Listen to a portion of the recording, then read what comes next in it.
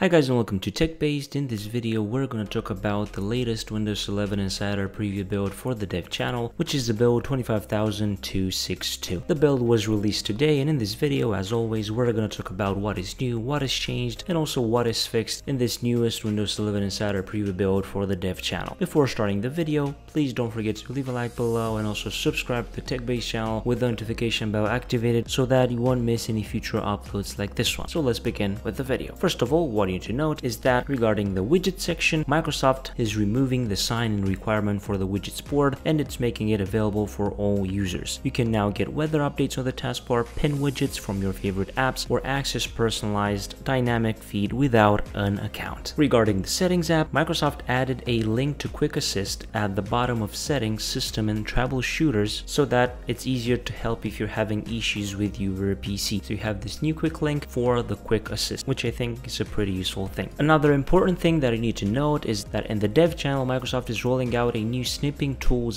app that will allow you to record the screen, which is a very nice improvement and a very nice addition that we've been waiting for a long time. With this new snipping tool app, you just have to select the record section, click on new, select the location of the screen where you want to record. You should see a countdown and the recording process should start. Once you stop it, you'll be able to save your recording wherever you want. For now, this feature is pretty limited. You don't have any options of selecting the video format, the video quality, or the microphone, for example, but Microsoft will add those features as they go on. And I think this is a very nice new preview edition in the dev channel of Windows 11. Microsoft is also rolling out a media player update with the version 11.2 to 11.34 that brings the ability to browse through your video library by folder. If you don't have it yet, don't worry, just search up for updates in the Microsoft Store and you should be getting it pretty soon. Regarding changes and improvements, that's it pretty much in this build, but we have a ton of fixes. So for example, some general fixes. He fixed an issue where if the widgets app package was missing on your PC, Explorer.exe would crash in a loop after upgrading to build 25252. This issue is also believed to be the cause of Windows Sandbox not working in this build. They also fixed an issue that caused secondary drives or other PCI devices to not be viewable for certain insiders. Regarding the taskbar and system tray, they fixed an issue where with the system tray design updates, auto hiding the taskbar would stop working after you had interacted with, with the hidden icons flyouts. They fixed an issue that was causing a gap between full screen windows and the taskbar on the secondary monitors. The system tray area should no longer shift as the numbers change in the clock. They fixed an issue causing the top half of the media controls and quick settings to be missing sometimes. Regarding the search on the taskbar, they fixed the issue where you needed to press backspace after typing before you will see results for certain files ending with .cmd,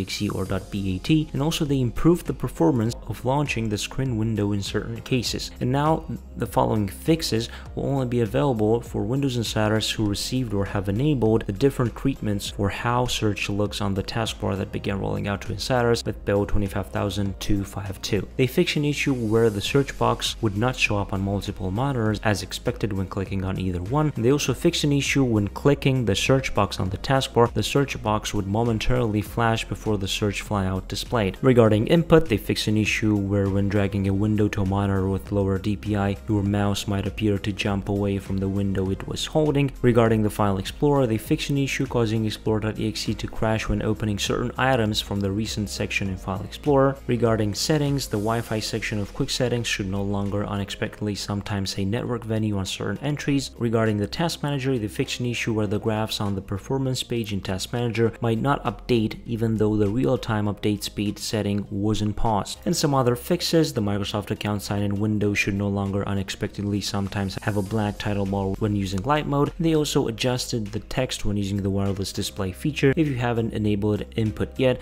so it guides you to the correct place to do that. For more information regarding known issues in this build, you can check out the article below in the video's description. That's it for this build. I hope you enjoyed this video. If you did, please don't forget to leave a like below and also subscribe to the TechBased channel with the notification bell activated so that you won't miss any future uploads like this one. I was Emmanuel from TechBased. Until next time, have a nice day.